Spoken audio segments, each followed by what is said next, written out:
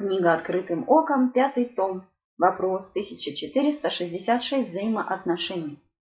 Соработник мой при мне и при многих лжет моему начальнику, и я знаю это. Я боюсь, что, буду, что будут о мне, как о выслуживающемся, думать другие, и я подавил себе желание немедленно обличить лжеца и промолчал.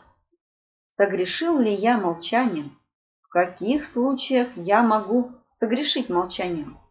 Отвечает Игнатий Тихонович Лапкин. В каждом конкретном случае нужно поступать по-разному. Лучше всего ничего не видеть, не слышать, сопеть в две ноздри и помалкивать. Но такая позиция сквозняка запрещена Писанием. Писанием. Нужно быть мудрым, и если дело касается зла, то нужно молиться, чтобы прекратить его действие. Но и последствия могут быть для такого говоруна непереносимо тяжкие. Свидетели, не умеющие молчать, вскоре замолкают навсегда. Молчать иногда заставляет сам Господь. Лука 9.36.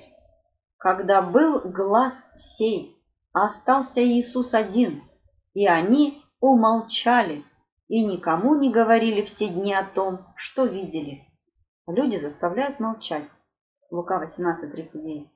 Шедшие впереди заставляли его молчать, но он еще громче кричал «Сын Давидов, помилуй меня!»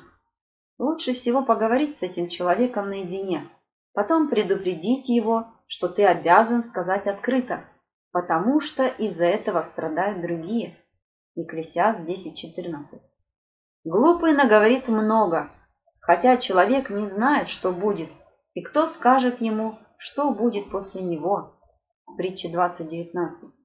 Кто ходит переносчиком, тот открывает тайну, и кто широко раскрывает рот, с тем не сообщайся. Сираха 7.23. Премудрость соответствует имени своему и немногим открывается.